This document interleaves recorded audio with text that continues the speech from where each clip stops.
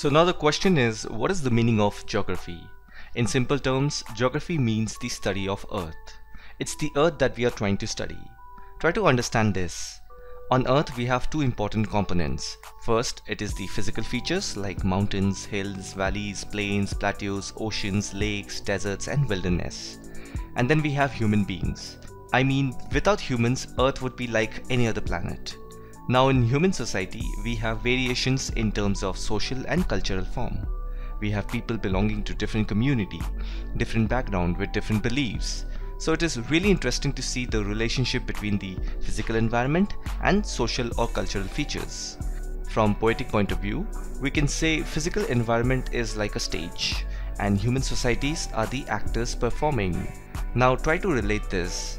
You go to different places, you witness new culture, new social values, and that can be seen through the architectural style, food, rituals, customs, human behavior, etc.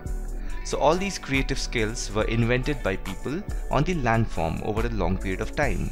So this is what geography helps us in understanding the relationship between the physical aspect and the human aspect of the earth. The term geography was first coined by Eratosthenes, a Greek scholar. Geo means earth and graphos means description. So it is the description of Earth that we are trying to understand in geography. Now geography has many disciplines like natural science and social science. Under natural sciences we have geology, pedology, oceanography, botany, zoology, meteorology etc. And under social science we have economics, history, sociology, political science, anthropology etc. These all disciplines study different aspects of the earth. Now one of the important work of a geographer is not just to study the variation in the physical feature of the earth, but also to understand the association with other factors like what causes these variations. For example, cropping patterns differ from region to region, but we also know it is closely related to factors like soil, climate, demands in the market, investment and technological availability. So you see the correlation between two phenomena.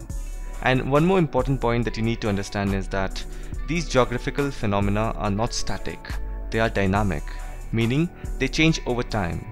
Human society is growing and changing rapidly, and so is the physical landform. The early human society, we call them primitive society. They were directly dependent on the nature for food, clothing and shelter.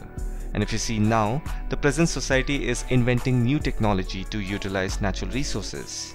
One good example would be with the creation of big machines, physical environment can be modified by humans which was extremely difficult once upon a time. Therefore, we can say technology brought freedom.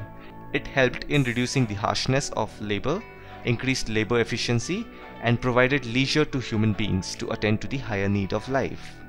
With so much of development around, we now find humanized nature and naturalized human beings.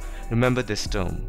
It means humans have converted the environment totally the way they want it, with the help of their natural creativity and thought process.